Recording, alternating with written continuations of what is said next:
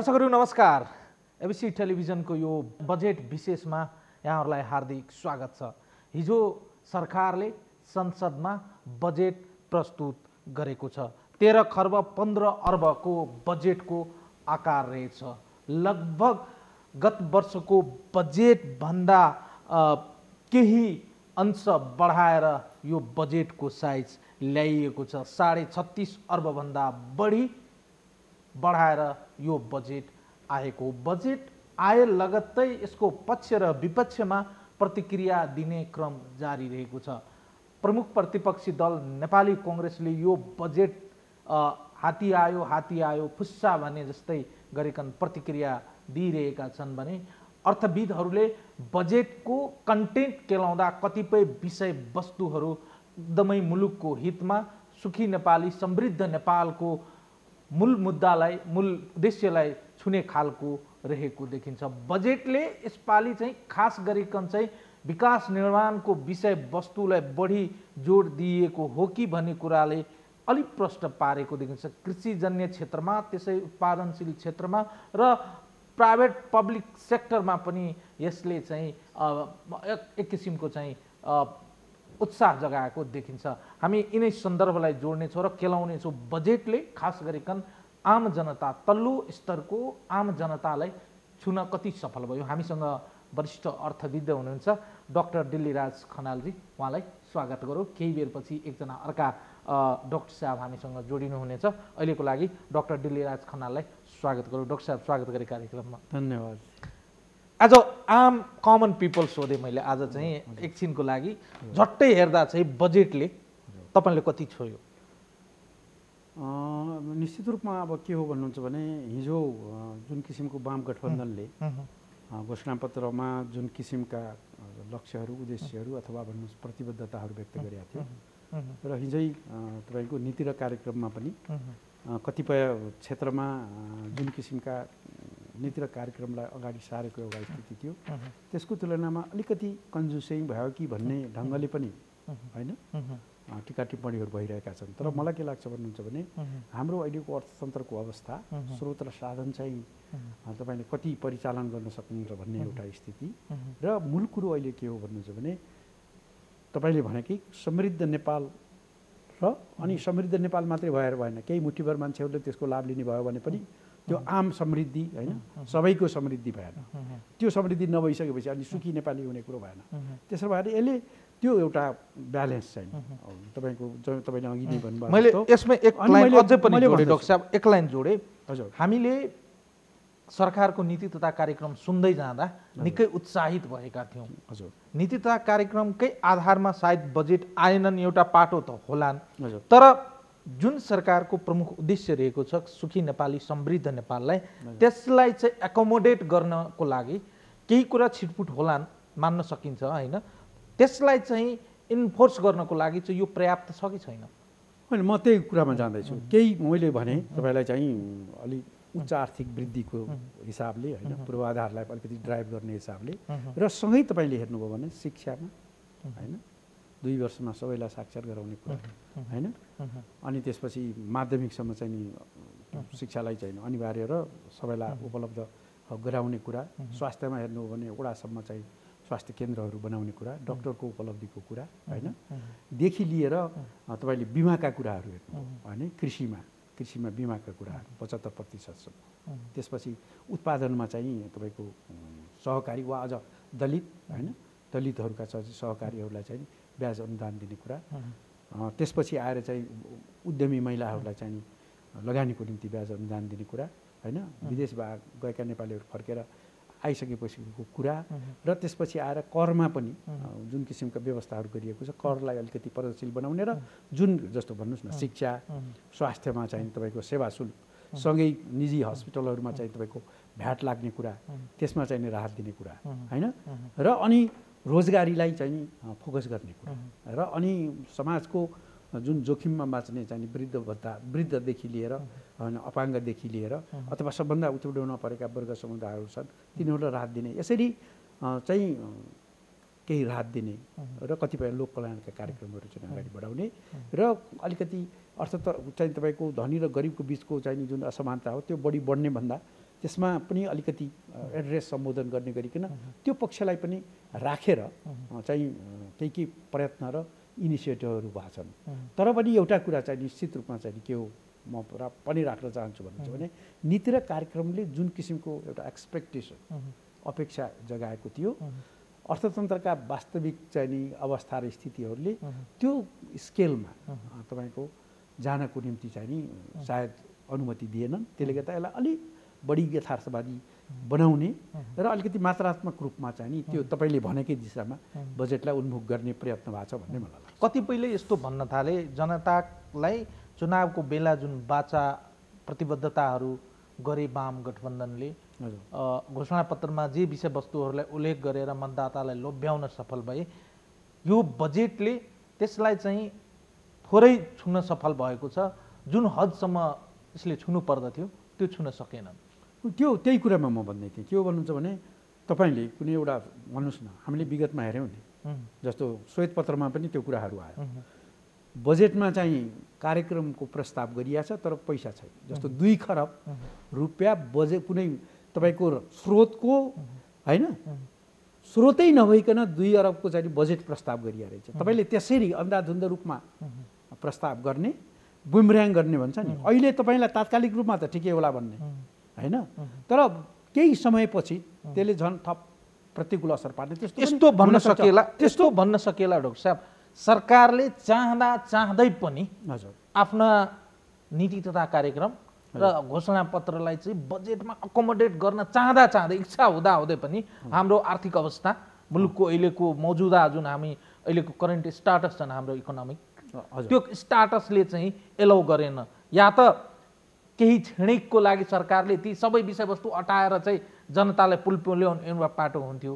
तर सरकारको पक्षबाट रियालिस्टिक तरिकाको चाहिँ बजेट आएको र यसले तपाईँको के हुने हो भने अहिले तपाईँको अलिकति यथार्थवादी बजेट बनाउने र अहिले जे जस्ता चाहिँ नि कार्यक्रमहरू होइन अघि हामीले अलिकति चर्चा गऱ्यौँ र अझ थप चर्चा गरौँला ती कार्यक्रमलाई प्रभावकारी ढङ्गले तपाईँको कार्यान्वयनमा लिएर जाने र एउटा आधार तयार गर्ने भन्छ फाउन्डेसन भन्छ नि। मैले- त्यो फाउन्डेसन तयार गरेर अर्को वर्ष अर्को वर्ष अलिकति ड्राइभ गरेर लिएर जाने।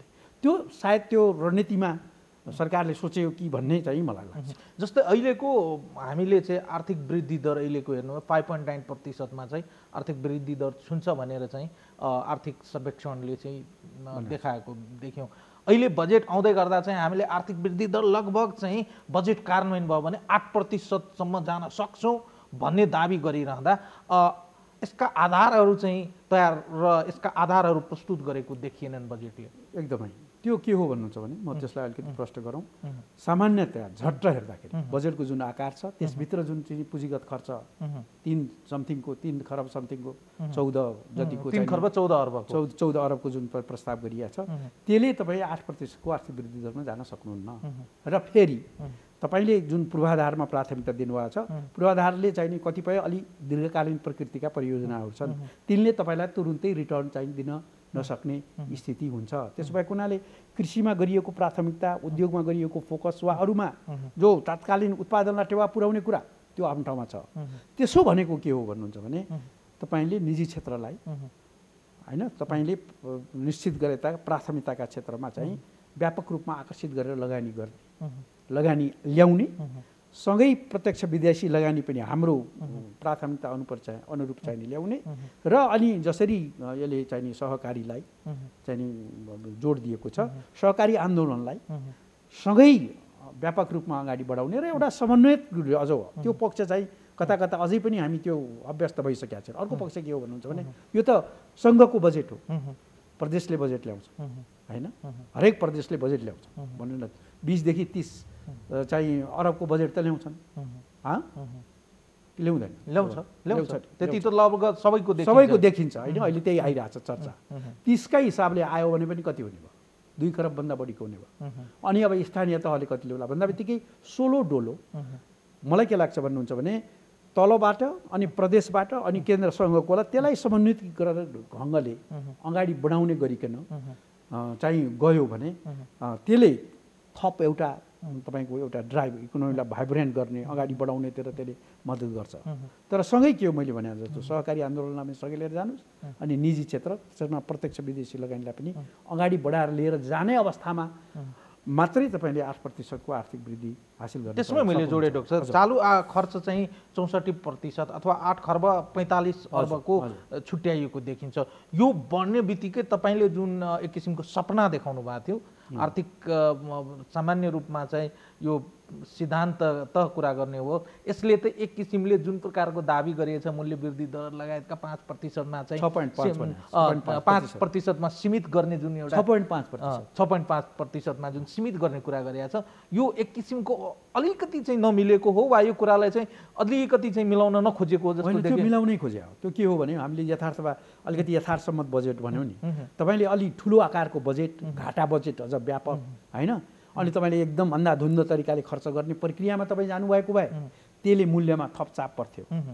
बजेटलाई अलिकति सङ्कुचनकारी भन्छु म चाहिँ। अलिकति सङ्कुचन अब होइन अलिक सङ्कोचको हिसाबले। जस्तै यहाँ डक्टर साहबहरूले जस्तै अर्थविदहरूले चाहिँ बजेटको सायद लास्ट टाइमभन्दा चाहिँ धेरै बढाउनु हुन्न धेरै बढाउनु हुन्न भने एउटा बहस चलिरहँदा अहिले जुन आएको साइज हो लगभग चाहिँ तपाईँहरूको लागि अपेक्षाकृत थियो मेरो लागि मेरो लागि एउटा चाहिँ के के थियो पन्ध्र खर्बभन्दा चाहिँ बिचमा चाहिँ तल हुन्छ भन्ने अपेक्षा चाहिँ थियो एउटा। होइन मैले त हिजो बिहान पनि मैले सधैँ प्रशिक्षण गर्छु आफ्नो हिसाबले होइन? त्यही विषयमै बढी काम गर्ने हुनाले पनि। मैले पन्ध्रको हारा करिब पन्ध्र खरबको हाराहारीमा आउँछ भन्ने लागेको। के पन्ध्र खरबको आयो भने स्रोत जुट्छ कि जुट्दैन भनेर पनि मैले हेर्दै थिएँ। भन्दा बित्तिकै मान्छेहरूको चाहिँ यसका दुईवटा स्कुलहरू छन् कि।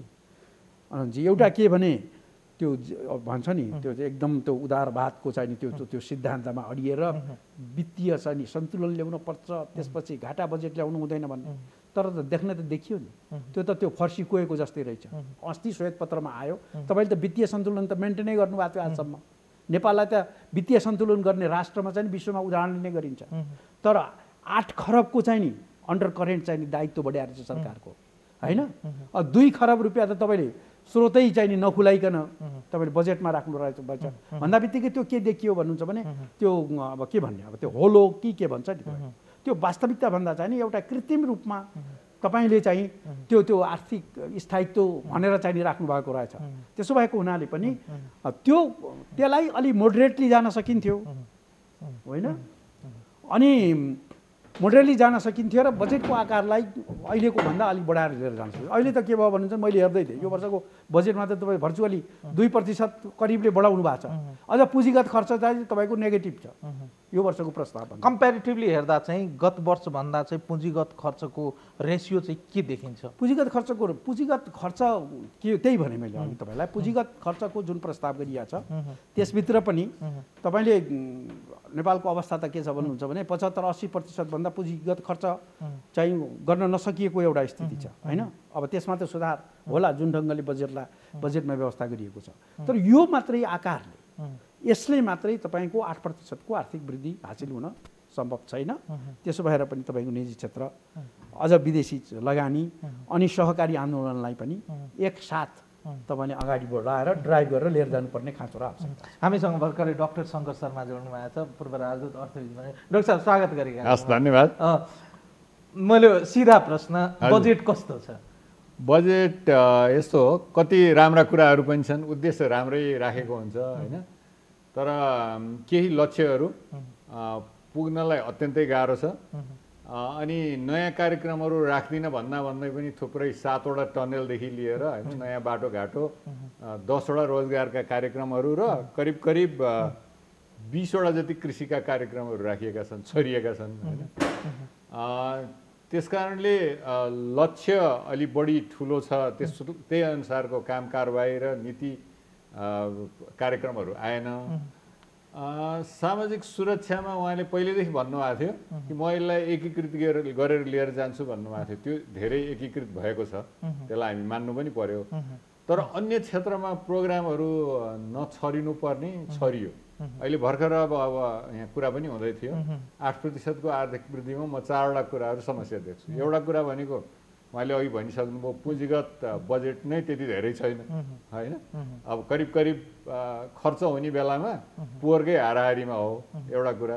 दोस्रो कुरो निजी क्षेत्रलाई हामीले वित्तीय केही सुविधा प्रोत्साहन दिएका छौँ त भनेर दिएका छैनौँ। किनभने अब ट्याक्स अलिअलि बढेकै देखिन्छ घटेको देखिँदैन बढेकै देखिन्छ। अनि हाम्रो एक खर्ब पचहत्तर अर्ब ऋण लिएपछि यो गत साल होइन लिएपछि यो गत साल पनि लिक्विडिटी तरलताको समस्या थियो होइन?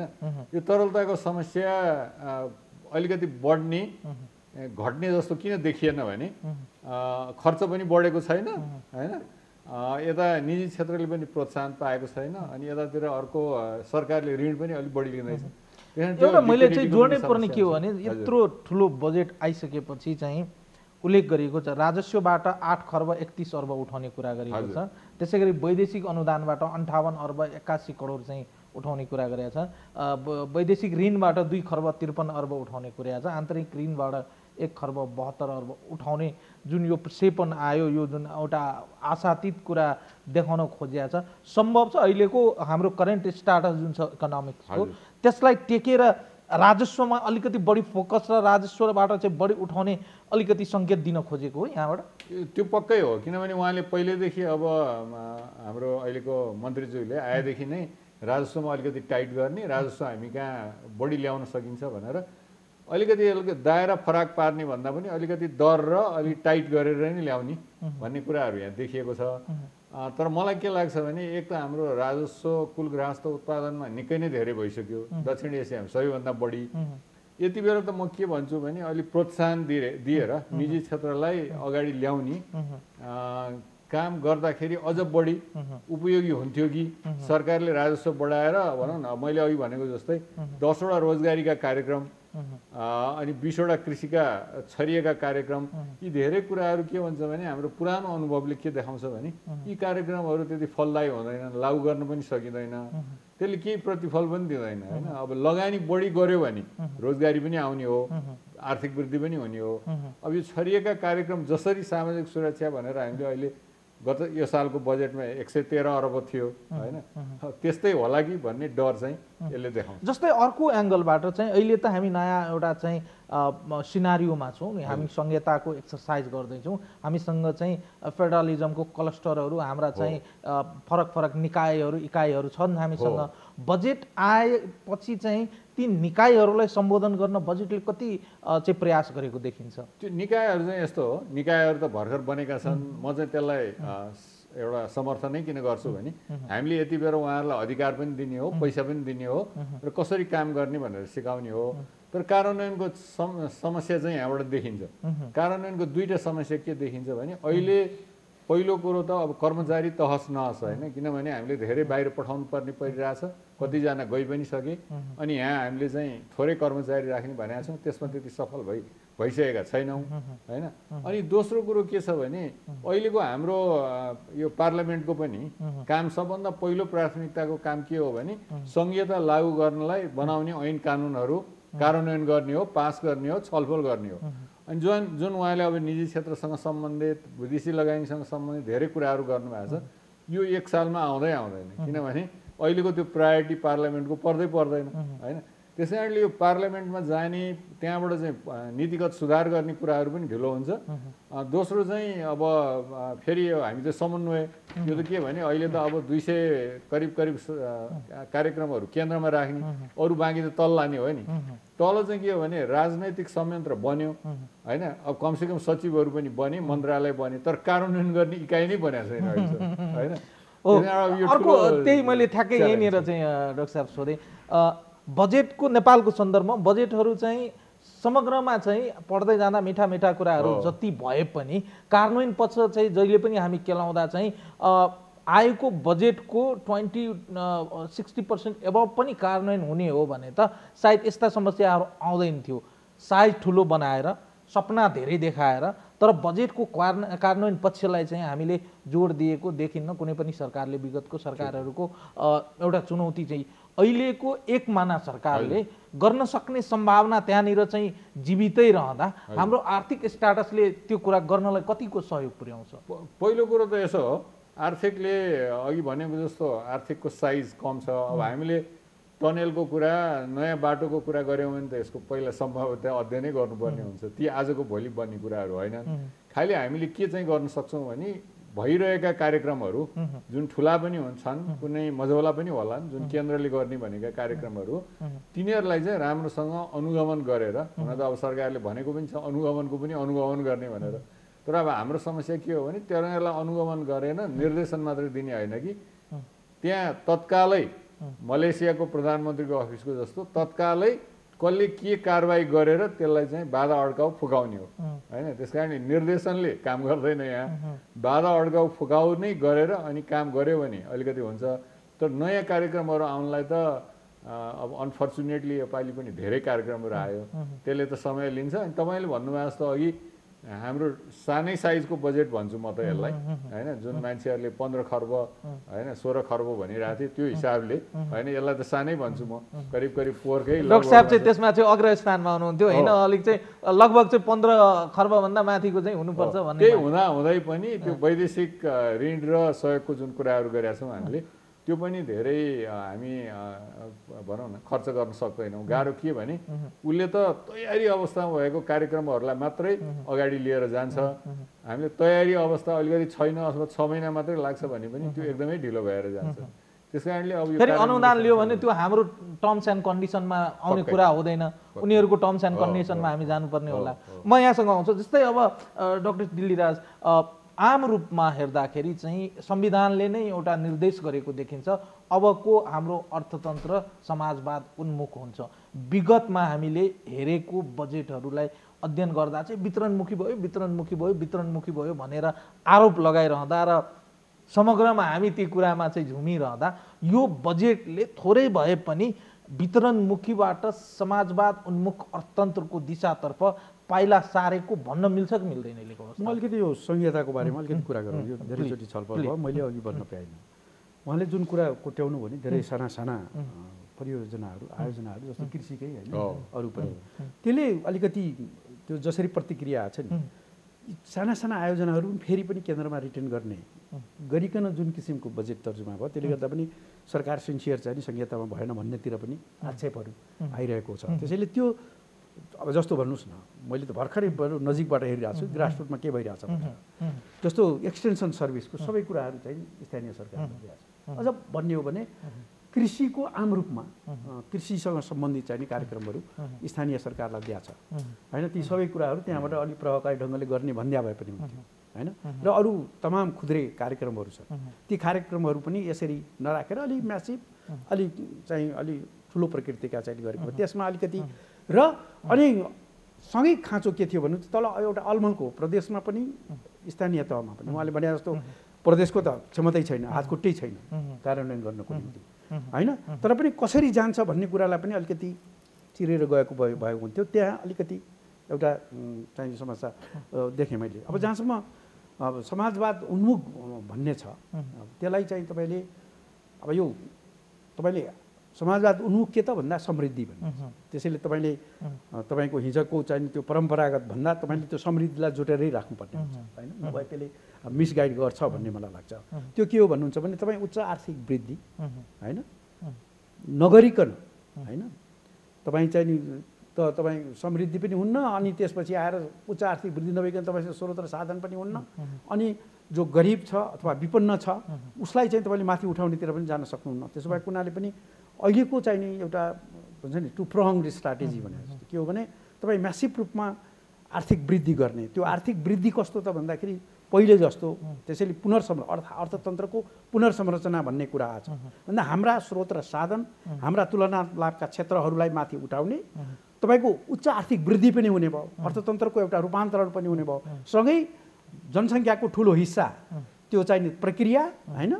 अवसर र प्रतिफलमा पनि त्यो हिस्सेदार हुने भइसकेपछि र त्यो गर्दाखेरि तपाईँले डिसप्रपोर्सनेटली अलिकति गरिब र विपन्न वर्गले चाहिँ नि त्यो प्रक्रियामा विकासको प्रक्रियामा रूपान्तरणको अर्थतन्त्रको रूपान्तरणको प्रक्रियामा उनीहरूले फाइदा ल्याउन् एउटा दोस्रो चाहिँ तपाईँको जुन कर इत्यादिको परिपाटी छ त्यसलाई पनि तपाईँले तुलनात्मक रूपमा अलिकति प्रगतिशील बनाउनुहोस्। र तेस्रो रूपमा चाहिँ नि के हो भन्नुहुन्छ भने अलिकति जुन चाहिँ नि गरिब विपन्न वर्ग छन् श्रमजीवी वर्गहरू छन् तिनीहरूलाई लक्षित गरेर होइन? अलिक बढी उनीहरूको आर्थिक सामाजिक जीवनस्तरलाई चाहिँ नि माथि माथि उठाउने। अब त्यसमा जोड्यो अझ भनेदेखि त तपाईँले कतिपय आर्थिक तथा सामाजिक अधिकारका कुरा संविधानमा गर्नुभएको छ। भन्दा बित्तिकै यी चार पाँच पाटोलाई एउटा कन्सोलिडेट एकीकृत कम्प्रिहेन्ड भन्छ नि। एउटा सामग्रिकतामा अगाडि बढाउने चाहिँ नि अलिकति उद्देश्य र प्राथमिकताहरू अझ बढी चाहिँ हिजो नीति र कार्यक्रममा आएको थियो। यसमा पनि तपाईँले अलिकति हेर्नुभयो भने कतिपय यद्यपि त्यो कतिपय तपाईँको ब्याज अनुदानका कुरा छन् होइन?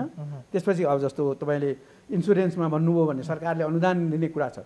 त्यसपछि आएर घर बनाउँदाखेरि चाहिँ तपाईँको तपाईँको टिन होइन? टिनको पाताहरू अथवा गर्नुको निम्ति पचास हजार रुपियाँ चाहिँ पुरै चाहिँ चाहिँ अनुदान दिने अनुदान दिने कुराहरू छन्। शिक्षा स्वास्थ्यमा चाहिँ अलिकति बढी लक्षित गरेर जाने कुराहरू छन् होइन?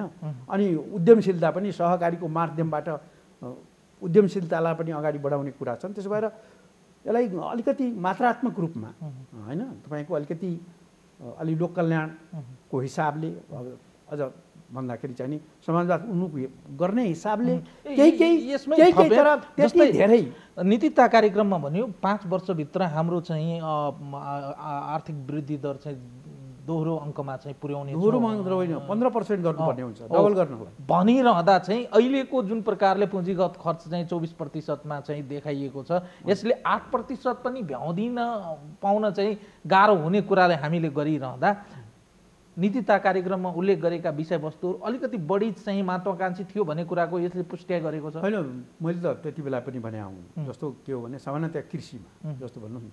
कृषिमा छदेखि सात प्रतिशतको आर्थिक वृद्धि गर्नुभयो भने त्यो चमत्कारी हुन्छ। तपाईँले कृषिमा पनि चाहिँ डबल गर्ने भन्छ। चौध प्रतिशतको वृद्धि। कृषिमा चाहिँ चौध पर- प्रतिशत भनेको त त्यो लगभग असम्भव। होइन। अहिलेको हिसाबले। अहिलेको हिसाबले। कृषि हाम्रो अहिलेको हिसाबले चाहिँ लगभग असम्भव जस्तो देखिन्छ। भन्दा बित्तिकै त्यो तपाईँले भनेको कुरासँग म के सहमत छु र मैले टिप्पणी पनि गरेँ। नीति र कार्यक्रममा चाहिँ कतिपय क्षेत्रमा महत्त्वाकाङ्क्षी चाहिँ लक्ष्यहरू राखिया छ। तर के हो भने हाम्रो जस्तो देशमा अलिकति महत्त्व राख्छु राख्नु भएन भने तपाईँले मुलुकलाई त्यतातिर ड्राइभ गरेर लिएर जान सक्नुहुन्न। त्यो अर्थमा त्यसलाई चाहिँ ठिकै भन्न सकिन्छ भन्ने मेरो कुरा थियो।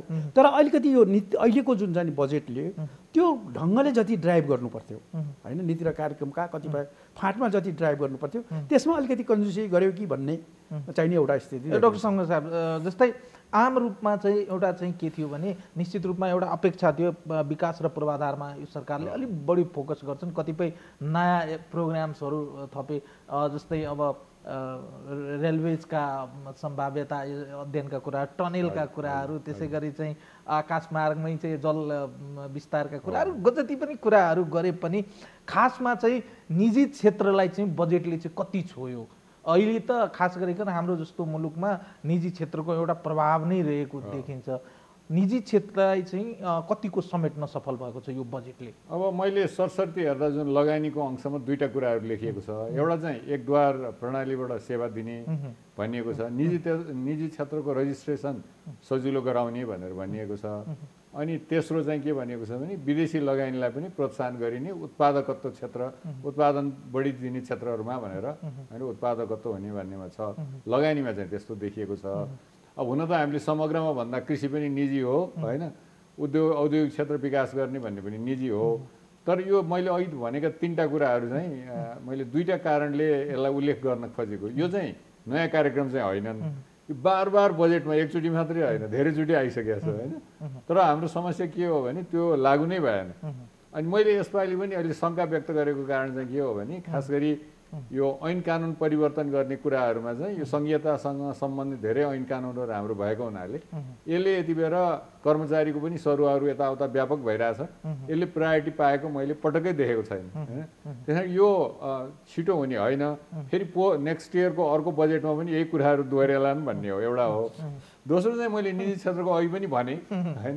त्यो भनेको कारण चाहिँ के हो भने उनीहरूले त अलिकति यो ट्याक्स इन्सेन्टिभ भनौँ न वित्तीय किसिमको प्रोत्साहन के छ त भनेर हेर्ने हुन्छ। हुन त अब करिब करिब दसवटामा चाहिँ हामीले चाहिँ संरक्षण दिने भनेर बजेटमा लेखिएको छ होइन? तर संरक्षणको एउटा समस्या के हुन्छ भने अब सिमेन्टहरू जस्तोलाई त हामीले पहिलादेखि नै बाटो बत्ती होइन? सिमेन्ट त स्मग्लिङ गरेर हतपत्त जाँदैन होइन? त्यस कारण त्यस्ता कुराहरूलाई चाहिँ सम्भव छ। धेरै हामीले चाहिँ अलिकति प्रोत्साहनले पनि यो संरक्षणले पनि केही काम गर्छ। तर धेरै कुराहरू तपाईँ उखु नै भन्नुहोस् न। हाम्रो खेती यहाँ किसानले गरेको खेतीमा पैसा राम्रो पाएन भने त बोर्डर पार नै लिएर जान्छ नि। उसले यहाँ किन बेच्छ? होइन? त्यस कारणले यो कति कुराहरू चाहिँ संरक्षण भन्दा पनि प्रतिस्पर्धामा जानुपर्ने हो। प्रतिस्पर्धा भन्ने शब्द मैले फेरि दोहोऱ्याएर पढौँला। त्यो देखे जस्तो मलाई लाग्दैन होइन? त्यसमा प्रतिस्पर्धात्मक क्षमता बढाएर अगाडि लाने कुराहरू चाहिँ त्यहाँ देखिएन। अब निजी क्षेत्रमा भनिएको छ यहाँ के भने अब के अरे सोर्स पनि देखाउनु नपर्ने पूर्वाधार विकासमा। अब हाम्रो हाइड्रो पावर चाहिँ के भइसक्यो भने नि अब तिन वर्षभित्र दुई हजार मेगावाट आउँछ त्यो पक्का पनि हो पुरानो। तर नयाँ आउनलाई त के हुनु पर्यो भने हाम्रो बर्खामा जुन एउटा एक्सेस इलेक्ट्रिसिटी हुन्छ नि भारतलाई बेच्न पाउनु पर्यो नि होइन भने त यो हाम्रो विद्युत प्राधिकरण त ब्याङ्क्रप्ट हुन्छ। तिन वर्षपछि त ढोका बन्द गर्दै हुन्छ होइन? त्यस कारणले उसले त अब किन्नेवाला छैन होइन? किनभने उसलाई चाहिँ त्यो समरको ऊ त चाहिएको छैन बत्ती। त्यस कारण यहाँ नीतिगत कुराहरू पनि कति कुराहरू छन् जुन कुराहरू अ, ले अ, मद्दत गर्न सक्छ निजी क्षेत्रलाई त्यो कुराहरू चाहिँ अब सरकारकै भरमा परेको छ। त्यस कारण यसो सरसर्ती हेर्दाखेरि मैले निजी क्षेत्रले बढी लगानी गर्ने भन्ने कुराहरू सेवा क्षेत्र हो होइन? सेवा क्षेत्र भन्यो भने खास गरी सूचना प्रविधिमा कुनै किसिमको प्रोत्साहन छैन। अनि यता अर्को चाहिँ हामीले टुरिज्म भन्नु पऱ्यो होइन? टुरिज्ममा चाहिँ अब सयवटा टुरिज्म प्रडक्टहरू डेभलप गर्ने भनेको छ यो अघि उहाँले भन्नुभएको जस्तो ती सयवटा त प्रोभिन्स र स्थानीय तहले गर्ने हुन् कि? यो सरकारले यो सरकारले त मैले यो तिनवटा यो ठुलो ठुलो होइन? म यसो गर्छु भनेर सबैभन्दा। महत्त्वपूर्ण कुरो नि डाक्टर साहब जस्तै कर्मचारीहरूले चाहिँ जहिले पनि चाहिँ बजेट आउनुभन्दा अगाडि स्यालेरी बढाउनु पर्छ भन्ने कुरा जुन एकदमै चाहिँ पर वेट गरेर बसेको हुन्छ। नि। स्यालेरी नबढिसकेपछि यो बजेट चाहिँ हाम्रो लागि आएकै होइन भनेर यसले त सिधै चाहिँ यो बजेटको कार्यान्वयनसँगको क्षमतासँग जोडिन्छ नि होइन र? जोडिन्छ। जोडिन्छ। तर अब यसो हो कर्मचारीको बजेटमा त उहाँले भनिदिनु हो मलाई त्यो ठिकै लाग्यो किनभने कमसेकम बिमाको कुराहरू गरियो हजार रुपियाँ होइन एउटा भत्ता स्वरूप थपियो र मलाई चाहिँ के लाग्छ भने उहाँले अविलम्ब यो खर्च पुनरावलोकन आयोग गठन गरेर यो पहिला पनि भएको हो। तर त्यसको धेरै रिकमेन्डेसनहरू लागू पनि भएको हो। तिन महिनाभित्र रिकमेन्डेसन ल्याएर यो पेन्सनसँग सम्बन्धित कुराहरू सामाजिक सुरक्षासँग सम्बन्धित कुराहरू र यो बजेट के अरे तलबसँग सम्बन्धित कुराहरू ल्याएर मलाई लाग्छ रिकमेन्डेसन भयो भने अर्को साल हामी धेरै प्रगति गर्न सक्छौँ। जस्तै डाक्टर साहब अर्को चाहिँ देखियो visit Nepal two thousand twenty सञ्चालन गर्ने र बाइस लाख चाहिँ यो आगामी वर्षभित्रमा दुई वर्षमा, चाहिँ टुरिस्ट चाहिँ नेपालमा भित्र्याउने यो लक्ष्य अलिक ठुलो लक्ष्य हो वा हामी ल्याउन सक्छौँ? ल्याउन सक्छौँ मलाई लाग्छ के हो भने अब यो बिस लाख भन्ने पनि तपाईँले यो अनौपचारिक रूपमा आउने जाने गऱ्यो भने त्यो त्योभन्दा अझ बढी होला। छिमेकी देशबाट जस्तो मैले एउटा डाटा हेर्दै थिएँ। लुम्बिनीमा आउने छिमेकी देशबाट होइन? आज बिहान आउने साँझ जाने। होइन, तिन घन्टामा फर्किन्छ तिन घन्टामा फर्किने। त्योभन्दा पनि के हो भने हामी टुरिस्टभित्र आउने। पाँच दिन पहिले बस्ने रहेछन् भने दस दिन बस्छौँ होइन? र हाम्रो त्यो भ्यालु एड भन्छ नि मूल्य अभिवृद्धि चाहिँ बढी हुने हिसाबले फेरि यति धेरै प्रमिजिङ भन्छ नि। हाम्रो प्रतिस्पर्धात्मक त्यो त हाम्रो त हाम्रो त रोग नै हो नि अ, अ, टुरिस्टहरू नआएका चाहिँ होइन तर स्टे लङ्गर गराउन सकेका छैनौँ नि त। यो त नि टुरिज्म सेक्टरले बारम्बार भन्दै आएका कुरा छन्। त्यसैले यसमा के हो भन्नुहुन्छ भने सरकारले जति प्रतिबद्धता गरिया छ रकम पनि ठिकै ढङ्गले चाहिँ छुट्याएको देखियो। त्यसलाई जहाँ जहाँ लगानी गर्ने हो त्यसमा चाहिँ सरकारले लगानीको प्रभावकारिता बढाउने। सँगै उहाँले भन्नुभएको जस्तो के हो भने मूलत तपाईँले निजी क्षेत्रलाई नै त्यसमा आकर्षित गर्नुपर्ने हुन्छ। र अझ मलाई त लागेको थियो के भनेदेखि हाम्रा उत्पादनहरू होइन पर्यटकले चाहिँ नि लिउन् भन्नेतिर। त्यो एप्रोचमा भ्यालु चेनमा कतिपय जस्तो चाइनाको मैले हेरेको थिएँ। चाइनिजहरूले चाहिँ नि त्यो त्यो एउटा सिस्टमै रहेछ। तपाईँको भ्या टुरिज्ममा चाहिँ नि भ्यालु चेन सिस्टम उनीहरूले के अरे भ्यालु भ्यालु चेन सिस्टम राखेर चाहिँ गरेका जसका कारणले गर्दाखेरि त्यो स्वदेशका चाहिँ नि उत्पादकहरू पनि त्यसबाट म्याक्सिमम् मलाई चाहिँ चित्त नबुझेको एउटा पाटो फेरि केलाएँ डाक्टर साहब जस्तै पचास लाख नेपाली युवाहरू चाहिँ विदेशमा छन्। अलमोस्ट चाहिँ डाटा हो यो त्यसमा तलमाथि चाहिँ अलिक होलान्। सरकारले बजेटमा पाँच वर्षभित्रमा चाहिँ पाँच लाख होइन पाँच लाख होइन एक वर्ष। एक वर्षभित्रमा चाहिँ पाँच लाख रोजगारी चाहिँ। सिर्जना गर्ने जुन योजना छ यो अलिकति चाहिँ ती विदेशमा काम गर्न गएकाहरूलाई चाहिँ अलिकति सम्बोधन गरेन कि भन्न मिल्छ कि मिल्दैन? पाँच लाखले मात्रै त हाम्रो ब्याकलग भन्छ ब्याकलग र अनि विदेशमा गएका जतिलाई तपाईँले पुरै तपाईँले यो हिसाबले त पाँच लाख के अरे पुरै रोजगारी दिन सक्ने स्थिति हुँदैन। तर पनि सुरुवात के हो भने अहिले त तपाईँले देशभित्र त रोजगारीको चाहिँ नि जुन किसिमको छ त्यो ज्यादै नगण्य छ। त्यसो भएको हुनाले पनि मलाई लाग्छ तपाईँ आठ प्रतिशतको उच्च आर्थिक वृद्धिमा जाने। त्यसले डेढ दुई लाख मान्छेहरूलाई चाहिँ नि यसै पनि रोजगारी दिन सक्ला। अनि त्यसपछि आएर कतिपय विदेशमा जुन सिप सिकेका छन् तिनीहरूलाई पनि अब अहिले जुन सुविधा दिने भनेको छ दस लाखसम्म लगानी गर्नको निम्ति। होइन? त्यो दिने। अनि शैक्षिक चाहिँ प्रमाणपत्रको आधारमा युवाहरूलाई चाहिँ सर्टेन इन्सेन्टिभ दिएर चाहिँ नि व्यवसाय गर्नको निम्ति उद्योग गर्नको निम्ति दिने र माथिदेखि तलसम्म अलिकति एकीकृत ढङ्गले रोजगारीका कार्यक्रमहरू होइन? रोजगारी जहाँ बढी आउँछ त्यहाँ र त्यो मागको आधारमा सिप छैन भने सिप सिप विकास पनि सँगै गरेर जाने। त्यसरी गर्दाखेरि यो बिगिनिङ भन्छ हामीले पाँच लाख चाहिँ श्रम शक्तिलाई रोजगारी यो वर्ष दिन सक्यौँ भने त्यो ठुलो कुरा हुन्छ। त अर्थतन्त्रको ड्राइभ गरेर अगाडि बढ बढ्दै जाँदा अझ त्यसमा मैले एउटा छुट्याएँ अर्को कुरा के हो भने तपाईँको प्रत्याभूत रोजगारीको प्रत्याभूत गर्ने एक चाहिँ नि सरकारले ल्याउने जस्तो हामी छिमेकी देशमा देख्यौँ नि। भारतमा होइन? भारतमा पहिलेको युपिए सरकारले चाहिँ तपाईँको ल्याएको थियो. होइन? अहिलेको सरकारका चाहिँ अहिलेका प्रधानमन्त्रीले पहिले विरोध गर्नुभएको थियो। तर त्यो कार्यक्रमको प्रभावित हेरेर अहिले झन् उहाँहरूले एक्सपान्ड गर्नुभएको छ। त्यसो भएर पनि तपाईँको त्यो एउटा निश्चित रोजगारीको कति सय दिन हुन्छ वा कति कति दिन हुन्छ त्यसलाई सुनिश्चित गर्ने त्यो एउटा एकीकृत सोचबाट अगाडि बढाउँदाखेरि रोजगारी दिनाउन सकिन्छ र त्यो रोजगारी गर्नेतिर जान पर्ने कतिपय त के हुन्छ भने तपाईँ गर्नै पर्छ।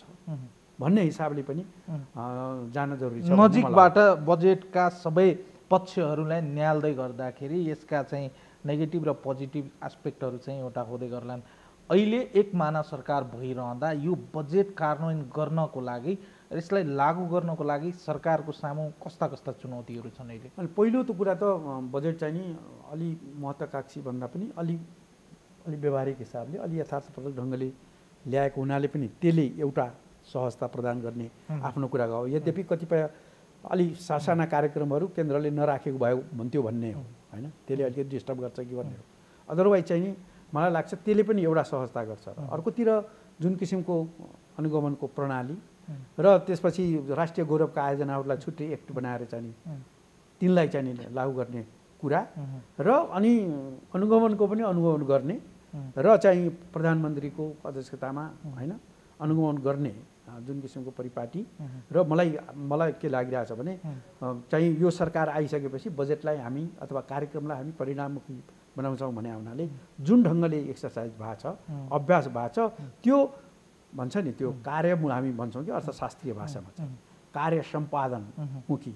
पर्फर्मेन्स बजेटरी सिस्टम भने के हो भने तपाईँले बजेट बनाउँदाखेरि नै बजेट कार्यान्वयन हुने कुराको त्यो संस्थागत मेन पावर ठेक्कापट्टा होइन त्यो जवाबदेहिता ती सबै पक्षहरूलाई समेटेर बजेट चाहिँ नि प्रतिफलमुखी होइन? अलिक कार्यमूलक त्यो ढङ्गले यसको डिजाइनमा पनि पुनर्संरचना भयो होला। त्यसले गर्दाखेरि पनि थप रूपमा कार्यान्वयन गर्नको निम्ति चाहिँ नि। सहज हुनसक्छ र तपाईँले भन्नुभयो जस्तो एकमना सरकार हुँ, अत्याधिक प्रचण्ड बहुमत भएको सरकार होइन? त्यसो भएको हुनाले पनि कार्यान्वयन गर्नको निम्ति सहज हुन सक्छ भन्ने चाहिँ लगन हुँ। जस्तै डक्टर साहब अर्को एङ्गलबाट हेर्दाखेरि हाम्रो चाहिँ उत्पादनमूलक क्षेत्र भनेको सबै कुरा बिर्सिने हो भने चाहिँ सबैभन्दा बढी चाहिँ कृषिबाटै आएको देखिन्छ। कृषि क्षेत्रमा हामीले ट्रेडिसनल म्यानरबाट हाम्रो कृषि क्षेत्र भइरहँदाखेरि कृषि क्षेत्रलाई आधुनिकीकरणको लागि चाहिँ बजेटले कतै ठाउँ पाएको देखिन्छ? मैले चाहिँ दुईवटा कुराहरू भन्छु हुन त अघि त्यो मैले एउटा उद्योगको पक्षमा भनि पनि सकेँ। जस्तो पाँच वर्षमा यो हाम्रो सिँचाइ योग्य जमिन होइन यो खेतीयोग्य जमिन जम्मै सिँचाइ गर्छु भनेर आएको छ यसमा। यो मैले सम्झिरहेको छु यो तेस्रो पटक आएको हो उनलाई चाहिँ होइन बजेटमा तेस्रो पटक आएको हो। तर त्यो यदि गर्न सक्यो भनौँ न जस्तो उदाहरणको लागि अहिले हाम्रो वर्षैभरि सिँचाइ हुने जमिन तेइस प्रतिशत मात्रै छ। बङ्गलादेशमा पचास प्रतिशत रहेछ। त्यसै भएर हाम्रो कृषिको वृद्धि दर तिन प्रतिशत छ बङ्गलादेशको चार प्रतिशत छ होइन?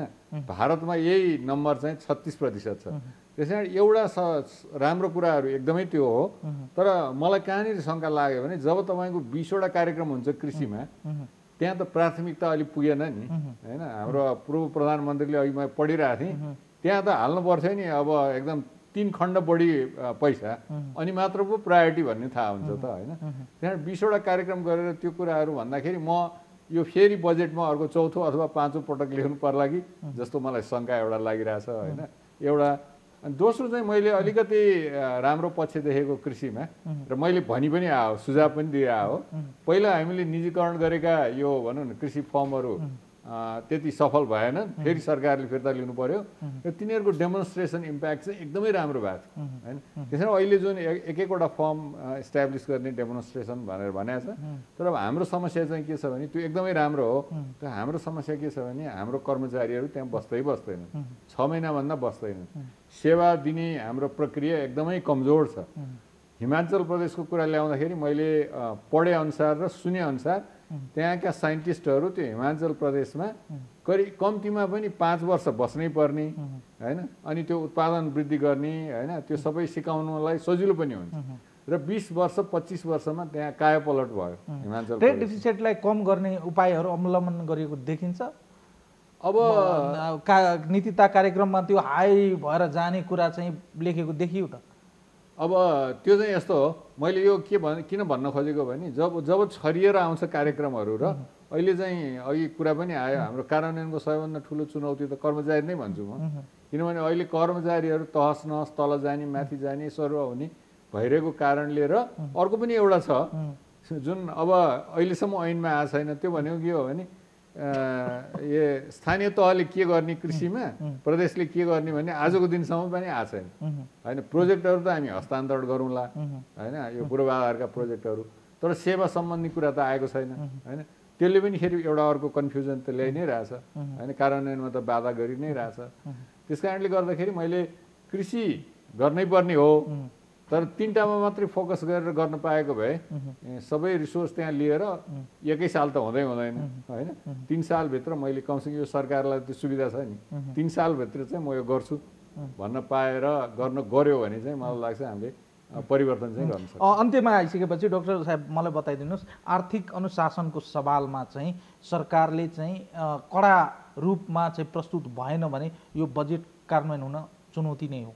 निश्चित रूपमा। र फेरि सरकारले प्रतिबद्धता चाहिँ व्यक्त गरेका छ। हामी जिरो टु भ्रष्टाचार टोलरेन्स त्यसपछि कार्यान्वयनलाई बढी चुस्त दुस्त गर्छौँ। जवाबदेहीपूर्ण परिणाममुखी बनाएर लिएर जान्छौँ भनेर भनेको हुनाले पनि मलाई लाग्छ यसले चाहिँ नि कार्यान्वयनमा सफलता प्राप्त गर्नेछ। त्यसले हाम्रो समृद्धि र सुखी नेपालीको जुन हाम्रो मूल लक्ष्य छ त्यसमा अलिकति यसले एउटा आधार आशा गरौँ यसले गर्नेछ भन्ने हामी जुन एउटा चाहिँ पोजिटिभ चाहिँ भाइब्स चाहिँ क्रिएट गर्ने प्रयास गरिएको छ नि सुखी नेपाली समृद्ध नेपालको।